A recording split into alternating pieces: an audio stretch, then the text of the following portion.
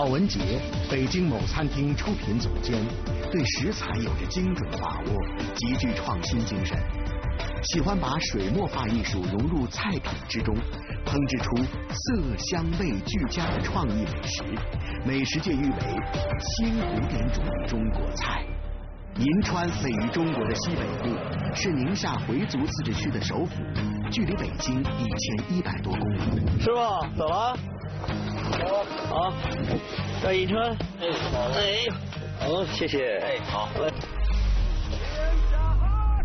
师傅，我是第一次来咱们银川。哦，咱们银川有什么好吃的？我们银川啊，啊，呃，手抓羊肉，手抓羊肉，对，还有清冻羊肉，是吧？出乎郝文杰的意料。银川虽然地处大西北，眼前掠过的却并非西北常见的草原和荒漠，而是江南一般的连片湖泊和芦苇荡。之前银川的印象就是一个大西北嘛，清炖羊肉，银川的臊子面，这是我们比较著名的东西。但是我下了飞机之后，看了很多很多很多湖，说这是一个塞上湖城，那我们是那吃什么呢？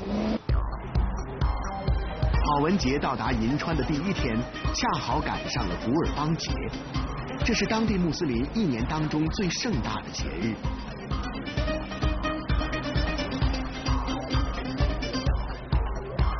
南关清真大寺的门口，早早的就摆满了售卖各种回族小吃的摊位。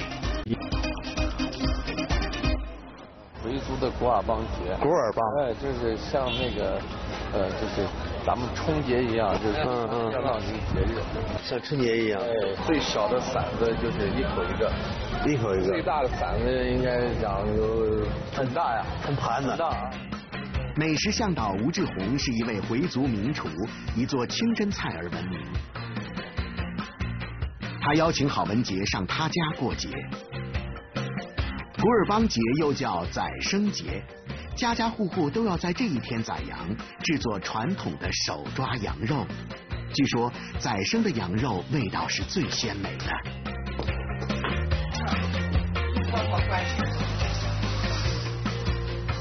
在吴志红看来，母亲做的手抓羊肉是世界上最好吃的，任何顶级大厨都比不上。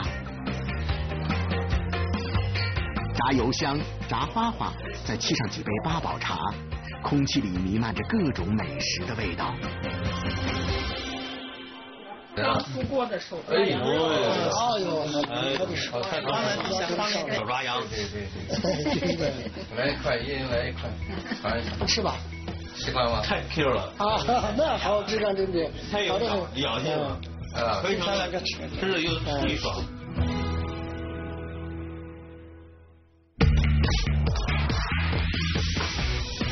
回族母亲做的羊肉，汉族妈妈做的揪面，自己亲自钓的黄河鲤鱼，顶级厨师郝文杰尽享塞上江南的天然味道。最后，他将大胆创意，以一道全新的美食倾倒热情的银川人。他不管吧。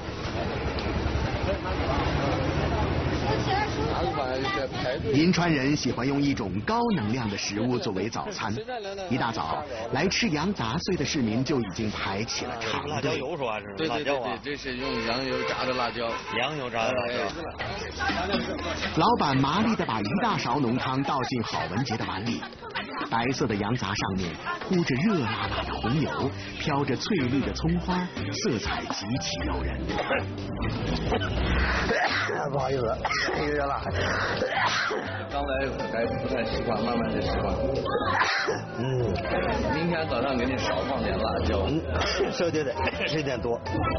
其实郝文杰对羊杂碎并不陌生，在他的老家河南开封也很流行喝羊杂汤。不过都是清汤或白汤，像这种飘着一层红油的羊杂碎，他还是第一次吃到。在银川，早晨吃上这样一大碗热辣辣的羊杂碎，既耐饱又能抵御高原的寒冷。面肺，在郝文杰看来，白色的面肺实在很少见。小店的老板杨忠孝，二十多年前从吴中迁到银川，在银川，吴中人做的羊杂碎一向被认为是最正宗的。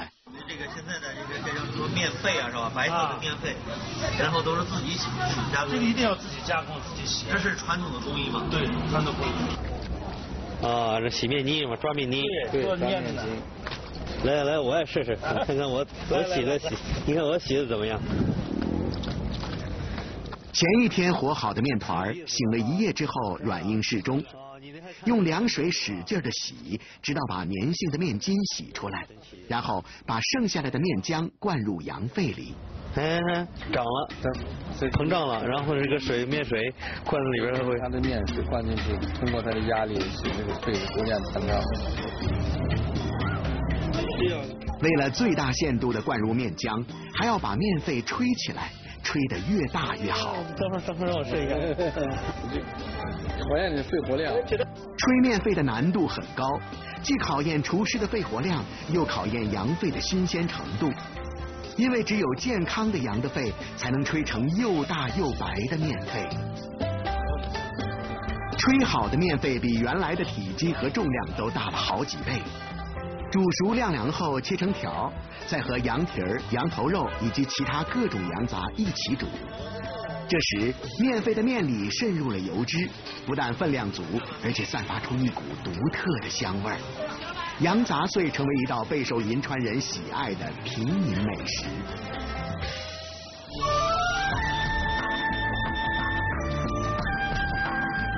银川是一座历史悠久的古城。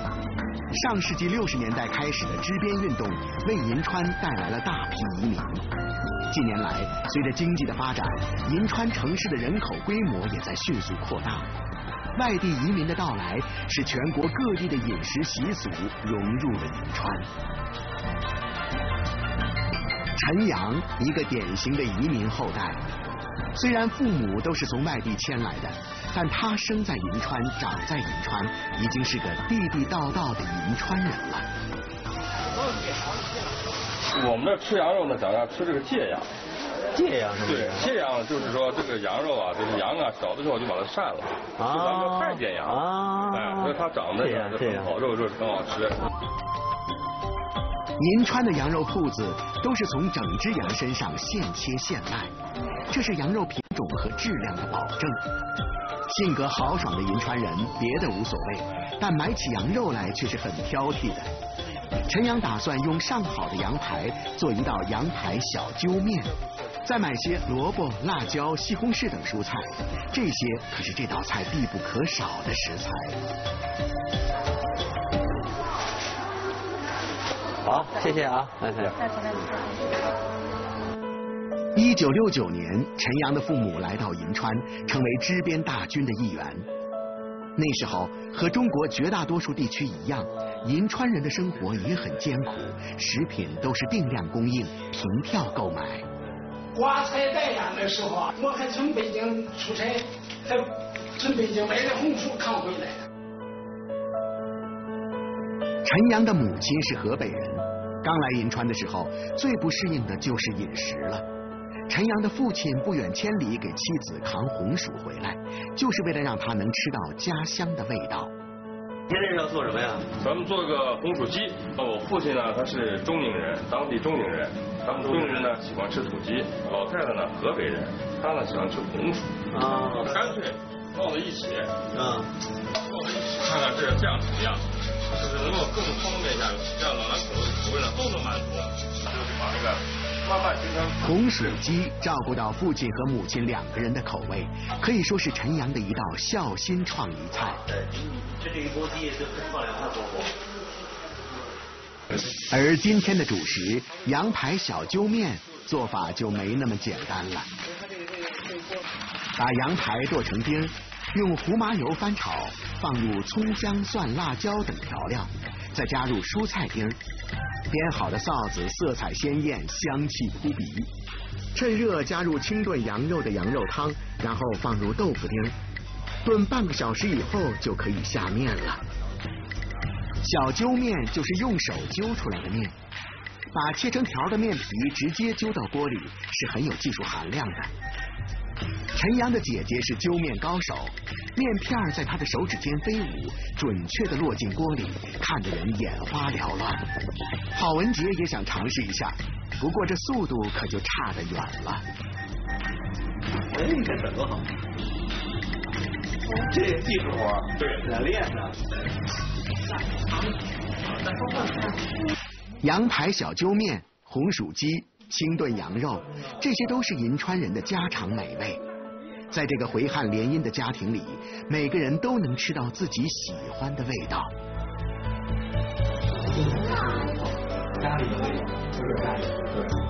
美味把一家人聚在一起，不同的生活习惯在同一个餐桌上完美融合，这是银川人特有的家的味道。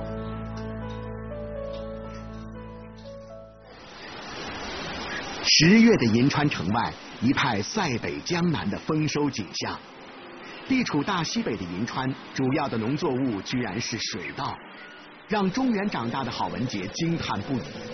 这都要归功于黄河，中国的母亲河。话叫天下黄河覆云下，嗯，就指的这里，整个宁夏的一些物产，尤其是食物这方面的东西，真的是跟黄河是密不可分的。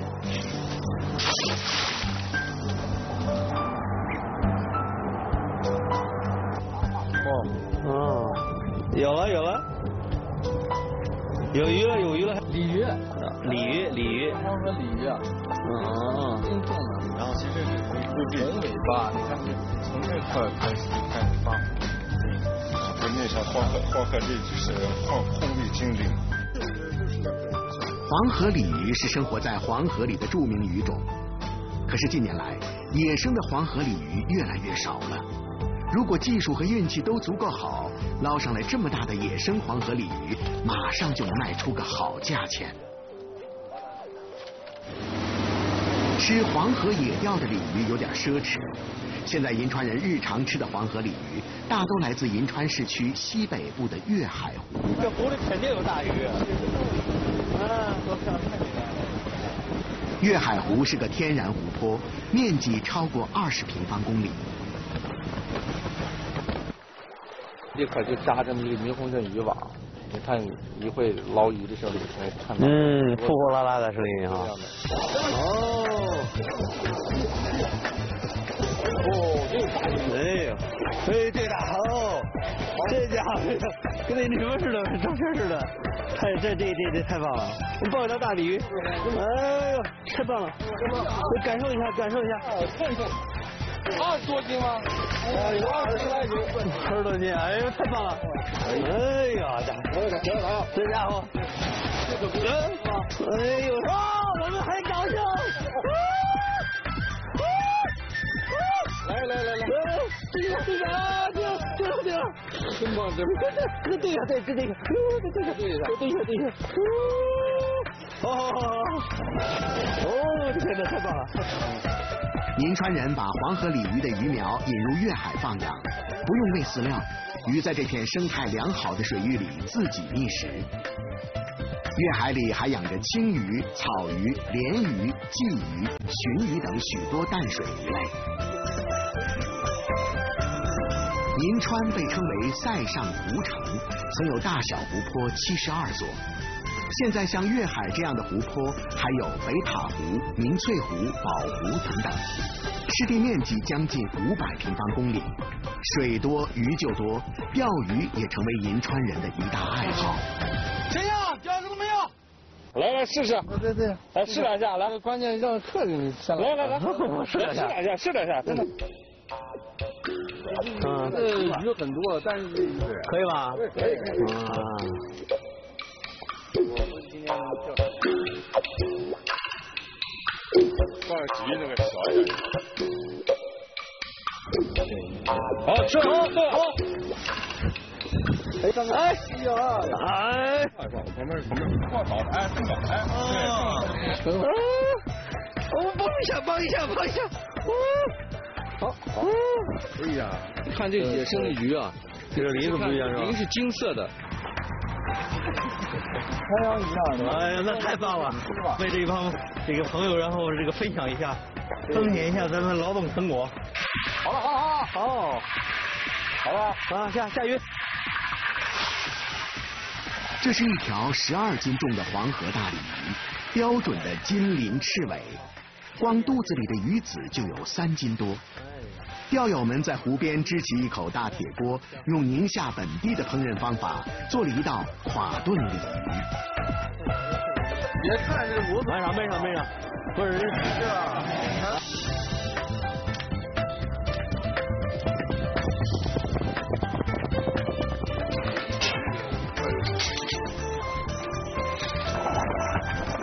嗯，太香了，鱼肉好啊，驴肉分得很精啊，不光是鱼肉，非常鲜啊。不光是鲜，而且它一样弹性。嗯，对。这厚切肉的啊，很筋的，很筋道，非常筋道，非常筋道。嗯，好吃。嗯，鱼子吃怎么样？好吃，我觉得跟那个鱼子酱那个鱼子，嗯，俄罗斯鱼子酱啊，啊，你说那鲟鱼鲟鱼子酱是吧？鲟鲟龙鱼，嗯嗯，很有特点。嗯嗯，不错不错，相当好吃。嗯，围着锅边吃着鱼，这个就是当地宁夏当地的吃法，哎，闹完了后野湖一炖，炖鱼很好吃，原汁原味。嗯，真不愧是那句话说的叫天下黄河赴宁夏，对呀、黄河鲤鱼甲天下。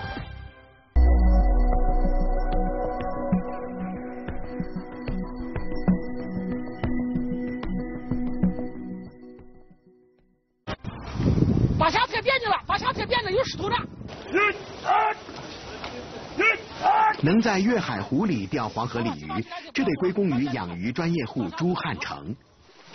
十几年前，他承包了粤海的水面搞水产养殖，今天已经发展为宁夏最大的养殖户之一。都这一网能拿多少？拿个六万斤，六七万斤是吧？六七万斤啊！七万斤，这太这太狠了。很多来进鱼的客户都在朱汉城的鱼庄吃过他的私房菜全鱼宴。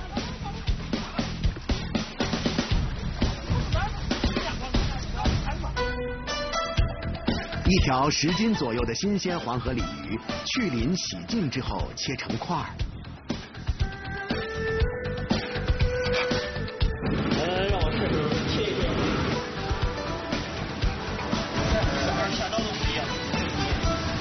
色刀的感觉，就证明这个肉质非常新鲜。肉质啊，就感觉很很 Q 很对，很 Q，你一下子拉不下来。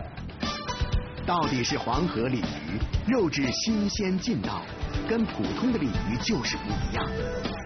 更让人惊讶的是，鱼剖开后没有经过加工就上桌了。这个黄河鲤鱼啊，就是就加点白水，加点葱姜就可以了。对，就是白水。白水。中国吃鲤鱼的地方很多，但清水煮鲤鱼，郝文杰还是头一回见。因为按常理来讲，鲤鱼多少是会有些腥味儿的，需要用调料来去腥，所以通常的吃法是红烧。好，好我们的腐鱼爆炒了。哎呀，煮的，哎呀，哦，这鱼肉刚才是红的，变成白色的了。哎呦，看着太看着太棒了。哦，好，谢谢谢谢谢谢。不是普遍的新的。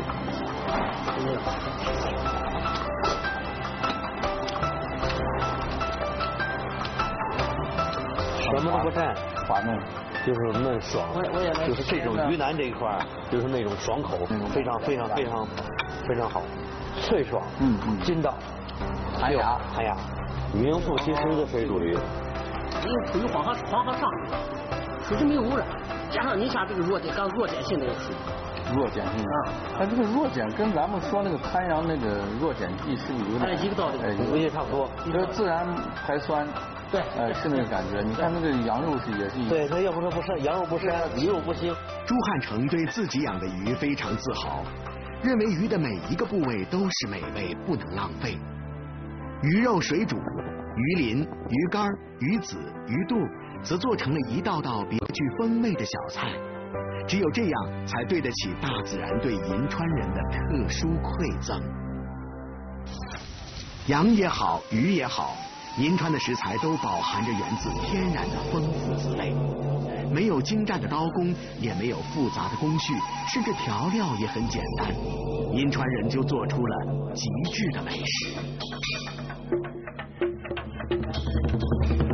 现在该轮到北京来的顶级厨师郝文杰大显身手了。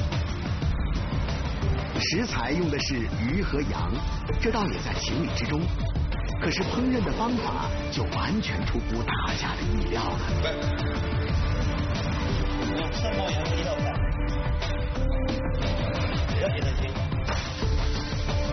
郝文杰把新鲜的羊肉塞进黄河鲤鱼的肚子里，然后用大量的盐把鱼严严实实的裹起来，精心的雕刻成鱼的造型，再放进烤箱里。一百八，二百二，你们上网高一点。一个小时后，不如。他最近看到最好的两样食材，因为羊肉，再就是我们这块的水产。但不知道今天郝大师做什么菜，我搞不明白。一条大鱼，这上面什么东西啊？不知道是吧？我给盖了一层房子。经过一个多小时的烘烤。一条黄澄澄、金灿灿的大鲤鱼出炉了。哎呀，今天是有口福了。揭开盐壳，鱼皮自然剥离，露出鲜嫩的鱼肉，而鱼肚子里的羊肉也蒸熟了。哪天让吴老师尝？鱼肉和羊肉，口感、味道，不知道怎么去表达。太棒了！在汉字里。鱼加羊就是鲜，而在烹饪中罕见将鱼和羊直接相加的做法。这道鱼羊鲜将鱼和羊的鲜味融合，产生了一种极其鲜美的全新的味道，令人欲罢不能。因为之前我没有来过银川，啊，只感觉银川是一个荒漠地带。身临其境给我的感觉，这个城市。真的不像是一个北方的城市，塞上湖上，塞上江南。我一去这几天已经陶醉在这种其实是鱼米之乡里了，非常的幸福。坐拥江河湖泊，尽享江中的鱼虾蟹，塘中的水生菜，河湖里的麻鸭，还有遍布街头巷尾的美味小吃。挑战外地人胃口的臭菜和令人怦然心动的长江巨蟹，尽在一城一味之芜湖。